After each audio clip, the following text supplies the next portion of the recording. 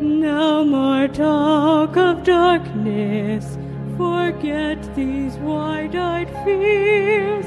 I'm here, nothing can harm you. My words will warm and calm you. Let me be your freedom, let daylight dry your tears.